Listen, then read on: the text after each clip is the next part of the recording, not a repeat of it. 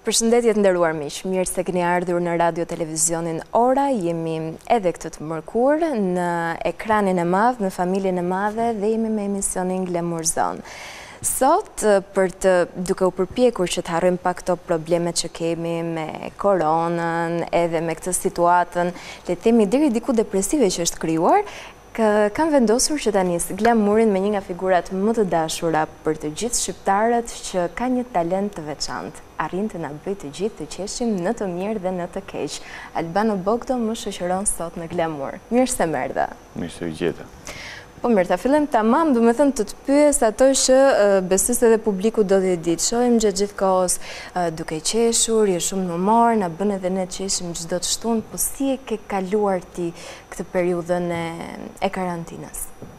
Si të gjithë, me kujdes, me distancim social, duke u përpjekur të mbajmë pozitivitetin brenda vetes dhe t'ua përcjellim dhe anëtarëve të familjes edhe anëtarëve të komunitetit edhe teleshikuesve sigurisht që Ka qenë për shembull e vështirë pjesa që duhet punoje, ta ka bërë më të lehtë apo më të vështirë, se kam parasysh domethënë që ke kontakte dhe me kolegët, po nga njëra anë thua, po shyqyr që kam punë, ose po dal nga shpia, nga ana tjetër thua, mos më zë gjë, për ty si ka qenë, ka qenë më e mirë apo jo, të ka lehtësuar në një farë mënyre puna? Shiko, puna gjithmonë të lehtëson, edhe në situatë normale, për mendimin tim, edhe në situatë shtetrrethimi siç janë këto ose pandemi globale çfarë është dhe në situatë lufte edhe në çfarë njerëzimi ka kaluar shumë situata të tilla si puna kësaj akoma më të këqija se kjo ky është një armik i padukshëm siç po thonë të gjithë ne po themi çfarë thonë shkencëtarët se s'marr unë s'marr vesh asgjë nga e kam nxjerrë kiminë 6 gjithë jetën biologji isha pak më mirë kështu po Nuk e dimë akoma çfarë është dhe derisa të dalë një vaksinë njerëzit duhet të vazhdojnë të jenë të kujdesshëm pavarësisht se sa lehtësime bën qeveria apo sigurisht që ata dinë diçka më shumë se ne se punojnë dhe flasin me specialistë përditë. Ne dëgjojmë çfarë thonë edhe përpiqemi me influencën sado të vogël që kemi në publik t'i përcjellim këto mesazhe që japin ekspertët e fushave po kam përshtypjen që nuk ka gjë që e mposhtë njerëzimin. natyrën njerëzore. Më tërhoqën vëmendjen meqë më ke ardhur edhe i veshur me bluzë të shkurtër tatuazhet që ke bërë, shoh që je i apasionuar pas tatuazheve. Jo, nuk jam i apasionuar mbas tatuazheve, të gjithë kanë i kam bërë për një arsye dhe kanë nga një kuptim. Kanë kuptim, mund të na e tregosh kuptimin? Kanë kuptime kështu thellësisht personale dhe shumica janë tragjedi. Prej shumë vitesh je pjesë e skenës, edhe je dhe një nga figurat më gazmore, por dua të di cili ka qenë momenti më i vështirë në karrierën tënde? Nuk e di, nuk kam një moment veçantë. Ndoshta kur kemi qenë tek Apartamenti dy XL në Vizion Plus, mhm. Pata ca probleme shëndetësore, kështu në lidhje me kisha kriza paniku, vuaja nga paniku dhe nga ankthi edhe nja dy tre herë nuk dola në sken fare edhe e humba vetëbesimin që edhe prej sëmundjes më shumë, jo prej jo vetëbesimin si aktor, prej sëmundjes që nuk do dal më kurrë në sken se nuk arrija të dilja dot në sken nga paniku, pastaj Filluan normalizoheshin gjërat dhe mendoj që ai ka qenë moment shumë i vështirë, momenti më i vështirë që kam pasur në karrierën televizive. Kështu nuk kam pasur momente të vështira në kuptimin të vështira që të të shqetësojnë jashtë masës se vështirësia e punës tonë është e pallogaritshme. Është sinqerisht njerëzit kujtojnë se dalim edhe bëjmë gallat, thonë lum si këta për punën që kanë edhe dalin bëjnë puf njëri puf tjetri gallat, nuk është fare ashtu. Në fakt, më bëri përshtypje që ma the këtë gjë sepse shumë njerëz që punojnë në ekran me të vërtetë që e kanë patur këtë problemin me panikun, kanë patur kriza paniku, po asnjë nuk e ka thënë me zë të lartë. Ti si ia bëre që ta kalosh? Si e bëra u kurova, shkova specialist, në mjek psikiatër dhe më dha ilaçe. Ah, ok. Si ta kaloja? Me yoga? E, e, jo, ka njerëz që kalojnë me yoga ose i shtrojnë vetes. Paniku, paniku dhe ankthi nuk kalohet me yoga. Janë sëmundje klinike që duan trajtuar nga mjekë, është njësoj si gripi, njësoj si ku di unë. Çdo lloj sëmundje tjetër se s'di. Edhe e kalove për një periudhë. Është si shtatzania kur do të bësh abort, duhet të vesh te specialisti, nuk hiqet me yoga fëmija, nuk bën dot abort me yoga. E kuptoj. Në fund do të shkosh te njëri që merret me atë punë. Të kaloi për një periudhë të gjatë kohore apo? Jo, jo, ka kaluar punë dy tre muajsh. Ah. Nga është në më lidhi zoti me dy njerëz profesionistë shumë të mirë i kam përmendur disa herë në emisione edhe, s'po i përmend më prapë se u lodha duke falënderuar, më tha, se më kanë thënë ata mos na skuq kur na përmend televizor, por realisht kanë qenë shumë profesionistë, nuk kanë marrë asnjë lek ndryshe nga si e kanë stil doktorët e që punojnë në shtet.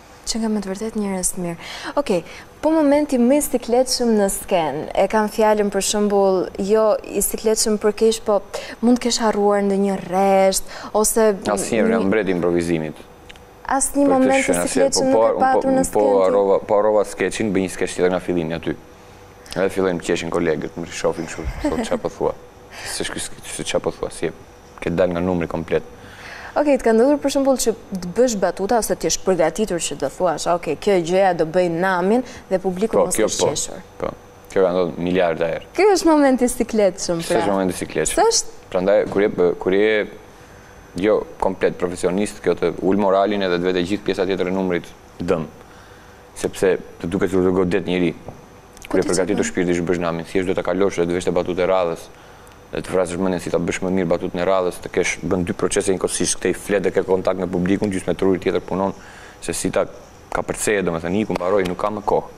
Është si një ndeshje futbolli që je përgatitur për një kundërshtar të lehtë, ti do rrahësh pesë me zero dhe papritur për dhjetë minuta të kanë bërë dy gola ata nga hiçi, si do jetë për shembull, nuk e di, Bajern Mynihut me Durrësin ku di unë ose me Sarandën, edhe vjen do vijë Bajerni sigurisht do rrafi njëzet me zero kur bën dy gola Saranda ose Delvina.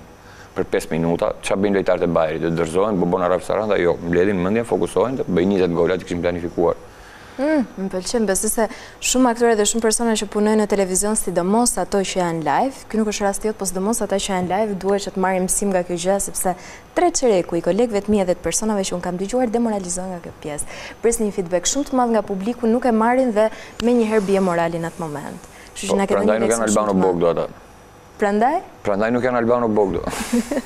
Ke thënë përpara pak kohësh, madje u bë një bujë shumë e madhe mediatike kjo deklaratë e jote që fama të shkatërroi. E ke marrë veten tani? Mm, nuk e merr veten asnjëherë nga transformimi që të bën fama. Si të ka transformuar ty? Mënyra e jetesës, kontaktet me gjithë njerëzit që ke pasur përpara që nuk ke më kohë. Puna në televizion është ti punon vetë televizion, duhet të rrish po, pjesën më të madhe të ditës dhe pjesën më të madhe të javës dhe pjesën më të madhe të vitit je në punë, humbet kontaktet me njerëzit, njerëzit mendojnë që po distancohet prej famës, prej kështu është diçka, është një barrë ekstra që nuk ke pse ta mbash, përpiqesh t'ua shpjegosh derisa lodhesh se nuk të kupton njeri. Vendose veten në pozicionin e miqve, mikeshave, njerëzve që ke pasur përpara se të bëheshe dikush, përpara se dilje në ekran. Mendojnë, tash ai doli në ekran, edhe ndryshoi shoqëri, fillon rri me kolegët, se normale kështu pordha, dëngla, gjëra, nuk është aspak rasti ky, nuk ka lidhje me, unë jam në punë gjithë ditën. Ky është një aspekt, aspekti tjetër është nuk ke privatësi, humbet privatësinë, zero, është Është është shumë, unë e vuaj shumë si dhe irritohem shumë, po shkon çdo lokal ku do të pish një kafe, del të shkon të relaksohesh, të vjen kamera të bëjmë një fotografi ose ma thuj çik atë batutën kështu. Jam pak jam shumë problematik në këto raste, nuk nuk i përballoj dot mirë.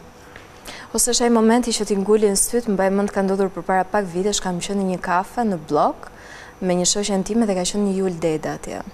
Edhe kështu që ai më pëlqente shumë si aktor, po unë gjithmonë kam punuar në televizion dhe jam mësuar me njerëzit, nuk është se më bëjnë përshtypje. Dhe kjo që e shikonte dhe ja nguli sytë dhe vetëm e shikonte dhe unë thash mos është mungesë edukate se e bën tjetrin të ndihet në siklet. Dhe Juli i shkretë duroi duroi duroi, pastaj e pa këtë në sy edhe i tha Ça ke tha? Ke ndonjë problem që sheh tha? Edhe edhe ai domethënë se si u kthye se u ndje në siklet, ke pas ndonjë ti kështu episodesh? Juli qenka sjellë shumë keq. Unë do isha sjellë, nuk e di, unë do isha sjellë ndryshe, varet si ishte ajo shoqja jote. Simpatike ishte. Po të ishte simpatike, do i thosha, fal se ke një orë që më shikon, dhe unë kam një orë që të shikoj. Ke thënë edhe që fillove dhe alkoolin. Pa. Po. Po mirë. E fillova e lash. E fillova e lash. Jam 6 vjet sober. 6 vjet sober. Po lëndët narkotike, i fillove? Të çoi fama deri në këtë pikë? Asnjëherë. Asnjëherë? Asnjëherë. Kurrë? Ok, po e marrim të mirëqenë asnjëherë, tha Albano. Nuk po të pyes më tepër për këtë temë, po po kalim menjëherë te rubrika Pyetje Hot. Ndjekim siglën dhe shohim se çfarë kemi përgatitur.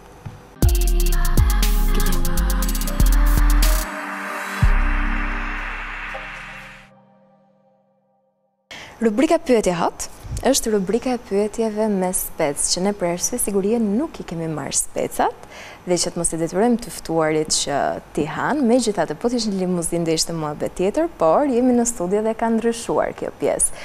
Pyetja e parë për ty, Është. Je i vetëdijshëm që jo gjithë njerëzit duan të të shohin mirë non stop. Kush nuk e ka pritur mirë suksesin tënd, që e ke kuptuar dhe ti. Ose mbase ka patur edhe atë guxim që s'ta ka thënë. S'më plas fare hiç. Fare. Okej, mes karrierës Unë kam, më fal. Po. Ta shpjegoj pse jo. Kam 7 ose 8 njerëz të rëndësishëm në jetë. Mhm. që më duan të mirën, njëri është vllai që pe aty, mhm. backstage, mamaja është motra është, dhe disa njerëz të tjerë shumë të afërt, miq të mi, kaq, gjyshja që vdiq para dy muajsh, këta doja t'i bëja të lumtur, i kam bërë të lumtur, janë krenarë për sukseset e mia, ç'mendojnë të tjerët nuk jam. Nuk të interesojnë. Më interesojnë, sa ç'më intereson ç'mendon këpuca ime për mua. Oke. mes. Në qoftë se do të bësh një gjë në jetë, përpiqu ta bësh sa më mirë dhe kur të kthesh kokën mbrapa dhe shiko që të ndjekin mijëra veta dhe je duke e bërë mirë. Në qoftë se je duke bërë keq, je vetëm dhe duhet të ndryshosh strategji në qoftë se do të kesh sukses në karrierën tënde. Po e vrave mendjen se ç'... është një shprehje nga Game of Thrones. Nuk e di në qoftë se e ke parë. Shprehja e Lannisterëve. Luanët nuk e vrasin mendjen për opinionin e deleve. Dhe ti në këtë rast e konsideron veten luan. Bravo, mendoj që gjithë ashtu duhet ta konsiderojmë. Secili për veten e tij është luan. Unë për veten time jam luani i vetes. Luftoj vetëm, vetëm, vetëm jo se jemi gjithë stafi, po në fund të ditës është secili për vete. Mes 2 milion eurove apo 10 vite karrierë të tjera në televizion, kë... 2 milion euro direkt tash. Edhe një, edhe 500 mijë. Edhe pe... Po. Edhe pesqind mijë, se nuk e do karrierë në televizion edhe 10 vjet jo. të dalësh në ekran dhe të bësh një As një shumë. ditë. Më gjej një 500.000 euro dhe iki direkt. Oke, e zëmë se i gjetëm dhe t'i sollëm. Kush është gjëja e parë që do bëje me ta? Kjo është pyetje, nuk e të bëjmë mendojmë të Po mendojmë se ne i kemi, ka. Asgjë. Thjesht që do t'i kesh. Po. Le të jenë gjendje. Asgjë. Do vazhdoj jetën si normalisht, do do do do filloj ndonjë punë tjetër, nuk e di. Më pëlqen shumë të punoj bartender, kështu, banakier. Është pasion yt i fshehtë. Po, jo s'është i fshehtë, kam punuar me vite. Mhm. Me vjen, di të bëj koktejle, gjëra kështu pije, jam shumë i aftë. Më pëlqen shumë mirë si punë. Po s'të ka shkuar në mendje që para dite aktor, mbas dite bartender për shembull? Jo, po nuk kam kohë. Jam 12 mhm. orë në punë në mhm. ditë edhe. E kuptoj. Besoj që të gjithë i kemi parë ato deklaratat e tua ku ti ke folur për aktorë të tjerë dhe ke thënë që shumica e aktorëve nuk bëjnë. Në mos gaboj ke thënë edhe nëntëdhjetë e pesë për qind. Apo jo? Po, i qëndroj fjalëve, nuk i ndryshoj me javë ose me muaj as me vite. Okej, atë do. Opinioni im ngelet i drejtpërdrejtë siç ka qenë. Nëntëdhjetë e pesë për qind të aktorëve funksionalë në Shqipëri nuk janë aktorë nuk kanë asnjë lidhje me të qenit aktor dhe s'kanë për të bërë kurrë aktorë sikur t'i dërgosh në Actors Studio në New York t'i lësh 10 vjet janë është si të nuk bëhet nuk e di nuk bëhet druri mermer nuk nuk ka shkencëtar bota të bëjë këtë transformim nuk bëjnë dhe pikë si është publiku nuk e di ç'a shef nuk di ç'a shef teatër nuk di ç'a shef televizor nuk di ç'a shef filma Dinë ç'a shofin se sot kanë akses ka faqe online ku mund të shikosh filma nga gjithë bota dhe mund ta bësh krahasimin midis një aktori dhe një tjetri. Edhe kur më thonë, kur sa herë jap këtë si argument më thonë po mirë po të krahasojnë ty me Chris Rock-un. Humbas, e pranoj them ok, ose me Jim Carrey-n. Humbas. Humbas. Duhet ta pranojmë faktin, dhe ti si prezantues emisioni dhe unë si aktor dhe tjetri si këngëtar. Tani që janë gjithë këto YouTube-i, rrjete sociale kështu jemi në treg global, duam s'duam. më kupton? Njerëzit nga shpia zgjedhin të shikojnë Klanifornia ose SNL-in, Saturday Night Live, zgjedhin të shikojnë mua ose ku di unë, zgjedhin të shikojnë ty ose Ellen DeGeneres. Nuk e e kupton? Është zgjedhje. Po. Është se na kanë të dyve në YouTube, zgjedhin shohin kë të duan. Po mirë tani, ti e ke patur këtë vetëm për një kategori të caktuar aktorësh, vetëm humori apo të gjithë edhe këta? Jo, të gjithë, gjithë e dramatikë, sidomos ata dramatikët janë kështu, s'kanë lidhje fare njeri.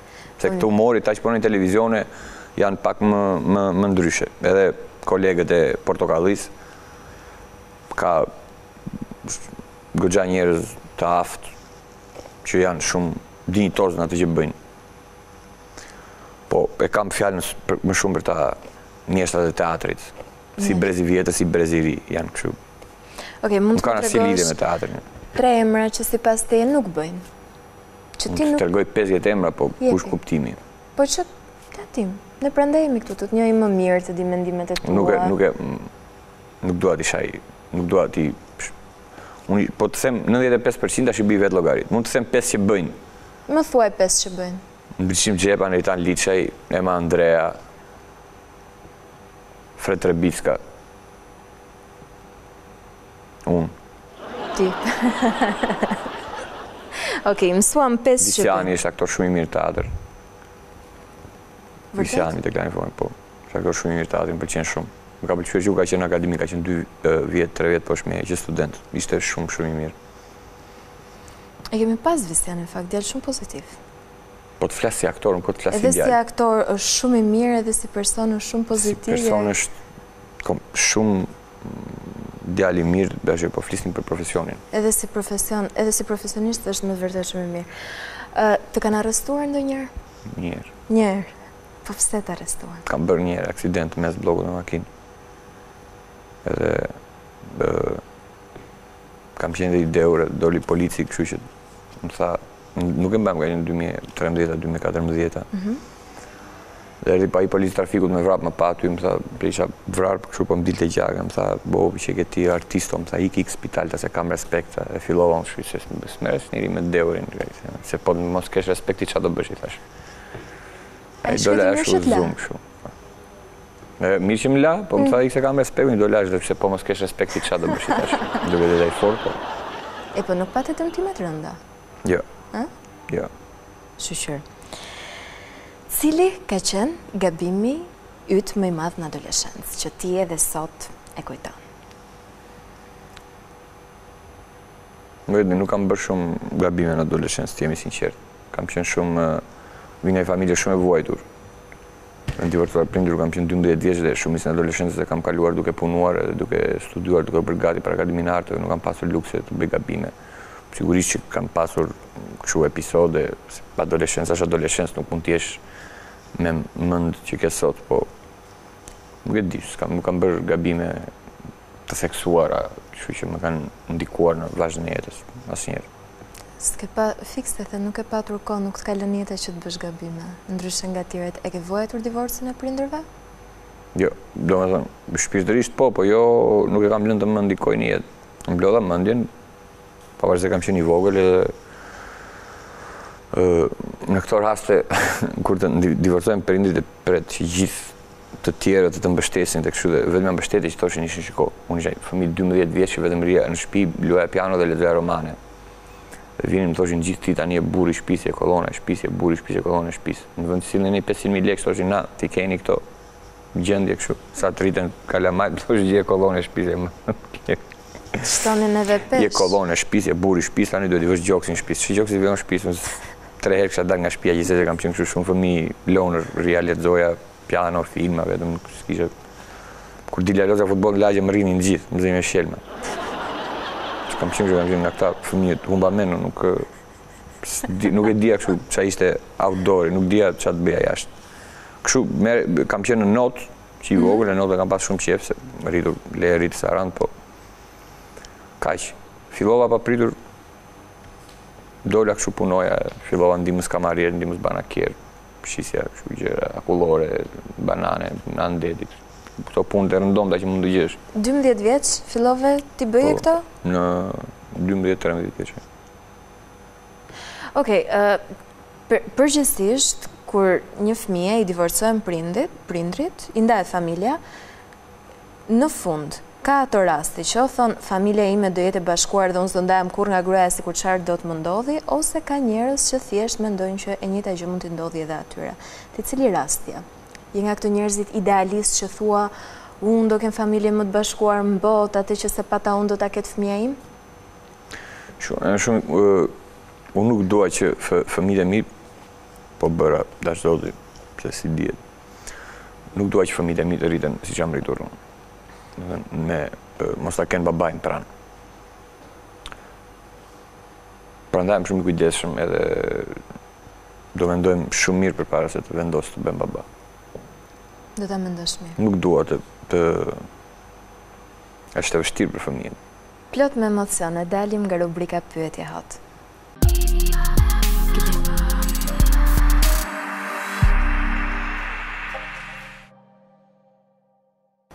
Albano, na bën të gjithëve të qeshim dhe vetë je dhe person vital. Nuk po themi konkretisht, po në skenë. Kur ka qenë hera e fundit që ke qarë?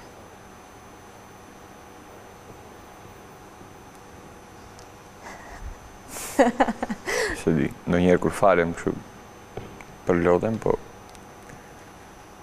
është më shumë nga rituali, nga rituali i faljes, jo nga që fillon flet me Zotin dhe i rrëfen se ça ke bërë, ose i kërkon diçka me dëshpërim, sigurisht përlotesh, njerëz jemi të gjithë pavarësisht profesioneve që kemi, pavarësisht dukemi kështu të pathyshëm në skenë, ose kështu jemi, është thjesht një profesion, në fund mos ta harrojmë asnjëherë, është thjesht një profesion. Cilat janë kriteret e femrës ideale? Që janë pesë kritere që po t'i ketë një femër ty ty në sy, ndoshta dhe mund ta duash. Femra ideale duhet të jetë bjonde, të ketë syze. Të ketë syze?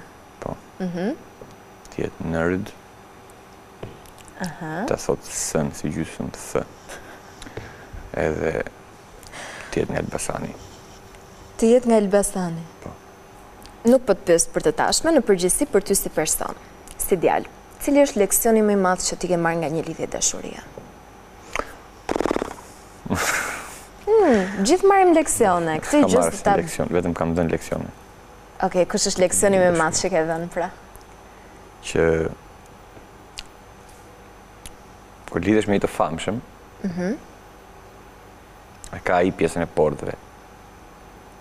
Mos bëj ti pordhë, se domethënë, kur ti lidhe lidhesh me një njeri që është i famshëm, mhm. edhe nuk po të bën dëngla, mos bëj ti dëngla. Kur zgjedh unë mos të bëj dëngla, të trajtoj, okej, e dashura ime, njerëz të barabartë, kjo nuk domethënë që Papritur të marrësh ti the upper hand dhe të bëhesh ti më mm. e rëndësishme se unë në shoqëri. E kuptoj. Ky është besoj është leksion shumë i vlefshëm. Shumë leksion i vlefshëm, po ia ke dhënë me fjalë apo ia ke dhënë me vepra? Me vepra. Vepra. Po. Si jepet ky leksion me vepra? E merr nxjerr jashtë nga shtëpia në dy të natës, hedh rrobat nga balkoni ose ku di unë. Ça kam bërë tjetër? Ça kam bërë tjetër? Ja, po konsultohet njëherë me vllanë, për gjithë ata që shikojnë Elbanën me kokën këtej, po konsultohet me vllanë që po na shikon backstage. Po. E ke bërë dhe këtë? Po. Nxirret femra në dy të natës? Nxirret. Që ç'ke, s'nxirret? Nxirret, nxirret që ç'ke me të. Mhm. Po s'e vrave mendjen ti po ku do shkojë, po, femra. Pa, marë, se gjënë që pa. E një një gjithë aty që ishte e dashura ime, në lagje, s'e ngiste njeri. Okej. Për ty, femër ideale do ishte një femër e famshme apo një vajzë e thjeshtë? Një vajzë e thjeshtë. Nuk do ta pranoje lidhjen me një vajzë të njohur, jo. mbase edhe të të njëjtit profesion, po pse? Nuk e di. Unë urrej vetë faktin që jam i famshëm, imagjino të kem edhe të dashurën të famshme. Mm, do bëhej pak që më shumë se ç'duhet.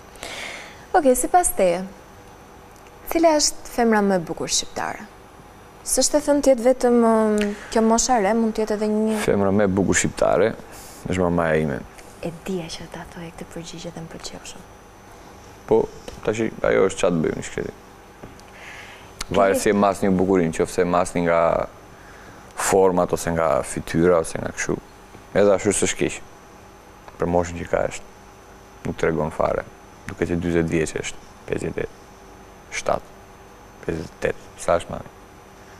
Se ja futa kot, e gjashtë e katërës, sa i bje? E morëm konfirmimin nga vllai, është gjashtë e katër. E gjashtë e katërës, pesëdhjetë e gjashtë vjeçe. Po nuk duket, duket si 20 vjeçe, po unë e mas bukurin e njeriut nga nga karakteri edhe nga nga qëndrimet që mban në momente të caktuara në jetë. Mamaja ime ka qenë shumë e bukur, ka qenë e re. kur u divorcua nga babai ishte 31 vjeçe, edhe kishte mundësi në lulen e jetës të martohej, s'i kanë munguar ofertat. një herë na ra një unë kam qenë me maman, kemi qenë emigrantë, punonim në Greqi edhe ishte një profesor në Oxford për histori. ishte me gjithë fëmijët dhe ai qe i divorcuar qe, ishte 40 vjeç, nuk ishte shumë i madh, qe dhe ai i divorcuar kishte dy fëmijë, kishte një vajzë mosha ime. Edhe unë kështu çup çup me atë vajzën aty që filloi më ngacmonte maman. Për zotin. Edhe s'na njihte neve si jemi kështu si me të meta mendore shqiptarët. Ai mendoi që ç'punë ka djali se ça i them mamas, shkon te mamas nga mbrapa, jo tërë si vërsi, vajta unë, o gjiganti thash. Ça bën aty në pishinë thashë anglisht. Pse tha ç'ke ti? Ti je djali, pusho tha më, unë jam i rritur. Ç'i rritur je ti thash unë. O të s'të gjuaj ti thash me tullë. Edhe më mori leje për të pirë kafe me maman. Ia dhe? Po ia dhashë, si s'ia dhashë, s'kisha, mamasë i kam thënë gjithë jetën që gjithë jetën. Atëherë që kishte moshë tash. Edhe tashi mund të martohet po do, s'ka ndonjë gjë, bëjë ça të dojë, unë jam dua ta shoh vetëm të lumtur, vetëm të qeshi. Dhe kam bërë çka kam pasur në dorë për ta për ta bërë dhuratë, sepse një vajzë 30 vjeçe, 31 vjeçe, me tre fëmijë vetëm, imagjino vetë se ça, ça jete ka kaluar e. Është heroinë. Hmm? Është heroinë. Po, unë s'mund t'i vë tituj mamasë time se duket sikur... Jo, s'duket fare dhe, çdo po- njeri edhe për po ta shohë këtë situatë fëtot, këtë mendon. Cila është sakrifica më e madhe që ke bërë ti për mamin tëndë? Përveç se... Jo, shiko, nuk kam bërë sakrifica, nuk e di. Jam përpjekur ta bëj gjithmonë sa më të lumtur dhe maman dhe motrën dhe vëllain janë njerëzit më të rëndësishëm në botë për mua edhe qeni edhe dikush tjetër për të cilin preferoj për të cilën preferoj nuk të flas mos të flas për momentin Janë njerëzit më të rëndësishëm në jetë për mua edhe gjithmonë përpiqem t'i bëj të lumtur me aq sa kam mundësi. Unë nuk jam Superman, nuk jam nuk jam super hero, nuk di çfarë të them. Me aq mundësi sa kam, ky që jam, me të metat e mia, me të mirat e mia, përpiqem t'i t'ju siguroj çfarëdo që ju nevojitet, më shumë në aspektin shpirtëror sesa material, se aspekti material nuk diskutohet fare. Albano ka qenë shumë kënaqësi që të pata në Glamour Zone. Gjithashtu. Faleminderit edhe për të gjitha rrëfimet e tua dhe që të njohëm edhe në një në një aspekt ndryshe.